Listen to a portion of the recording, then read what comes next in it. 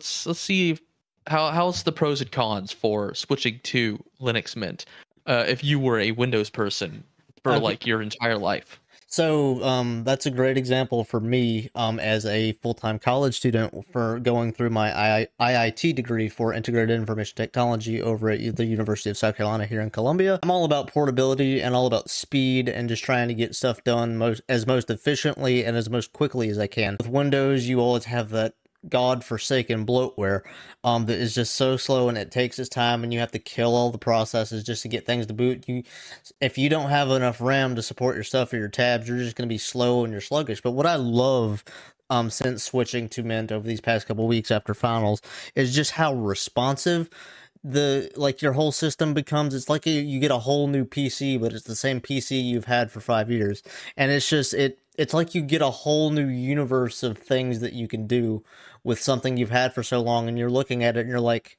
oh my god, I never knew I could do any of this. And then like a really good um thing that I always use um for for me specifically is the the web apps feature to make any website you want into a like native like bootable application and it just opens up right immediately. Just there's no delay no no um hesitation no processing nothing. Everything is snappy everything is immediate and everything is always always always at your fingertips at any given moment. And you can customize it and you can use any tool that you need whenever you need it and however you need it